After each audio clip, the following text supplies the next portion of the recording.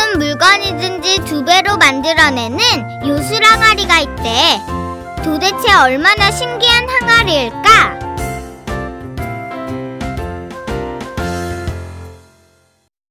요술 항아리 옛날 한 농부가 이웃의 부자 영감한테서 밭을 샀어요.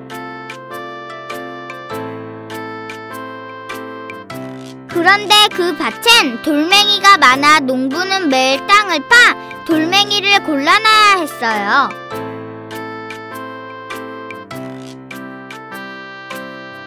하루는 농부가 땅을 파고 있는데 곡괭이 끝에 뭔가 부딪히는 소리가 났어요. 자, 자. 어? 땅 속에 뭐가 있나? 농부가 땅을 봐보니 땅 속에서 큰 항아리가 나왔어요. 아니, 이게 웬 항아리지? 옳지, 잘 됐군. 여기다 쌀을 담아놔야지. 농부는 항아리를 들고 집으로 돌아와 항아리에 쌀을 담아 놓았어요.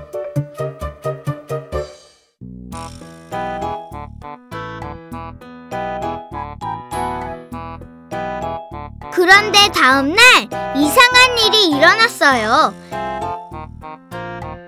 반쯤 채워 넣은 쌀이 항아리 가득 넘쳐 흐르고 있었어요.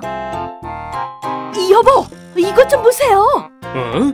쌀이 왜 이렇게 많아진 거지? 농부가 신기해서 항아리에 엽전 하나를 넣어봤더니 엽전도 두 개가 되어 나왔어요. 그 항아리는 바로 무엇이든 하나를 넣으면 두 개로 만드는 요술 항아리였답니다. 농부는 항아리에 엽전도 넣고 쌀도 넣고 해서 곧 부자가 되었어요.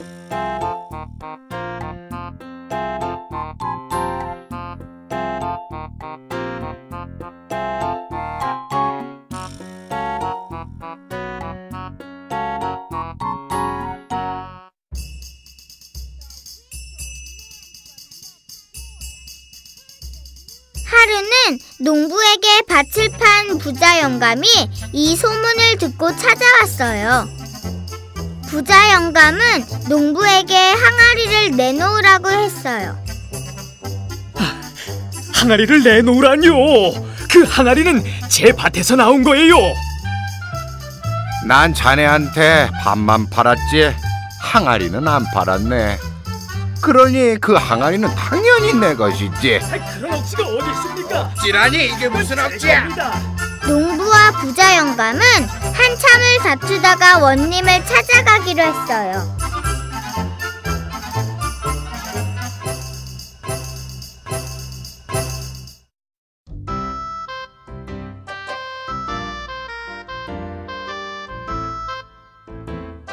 원님은 농부와 부자 영감의 이야기를 듣더니 한참 동안 곰곰이 생각했어요. 원님도 그 신기한 요술 항아리가 탐이 났어요. 어허, 항아리 때문에 이웃끼리 서로 다투다니. 이 항아리를 관가에 보관하도록 하라. 그럼 이웃끼리 서로 싸울 일은 없을 것이니라.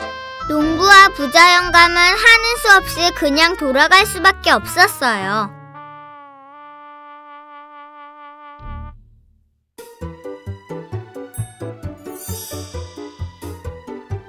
그날 저녁 원님은 아무도 몰래 요술 항아리를 집으로 들고 와 엽전을 넣어봤어요. 그러자 항아리에서 정말 돈이 계속 넘쳐나는 거였어요. 정말 신기한 항아리일세 그리요.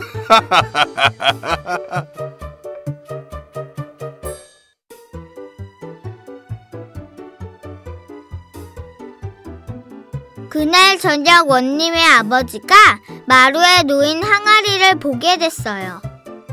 처음 보는 항아리라 궁금해하던 아버지는 항아리 속을 들여다보다가 그만 항아리 속으로 쏙 빠지고 말았어요. 아, 어디 뭐냐? 아이고, 아이고, 아이고, 아이고, 아이고, 아이고, 나살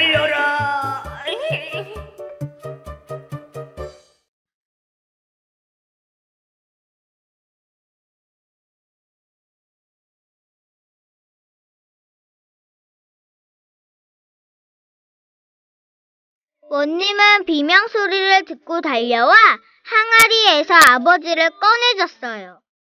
그런데 항아리 속에 또 한 명의 아버지가 있는 게 아니겠어요?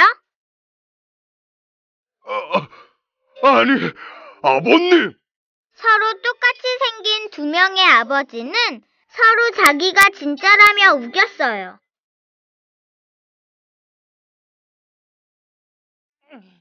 내가 진짜다. 아이 무슨 소리야? 내가 진짜다. 아이고, 아이고, 속 터져. 아, 내가 진짜라고. 그건 내가. 아이고, 요술 항아리 때문에 망했구나. 남의 물건에 욕심내던 원님은 아버지를 두 분이나 모시게 되었답니다. 참 신기한 요술 항아리네. 나한테 그런 항아리가 있다면 뭘 넣어볼까?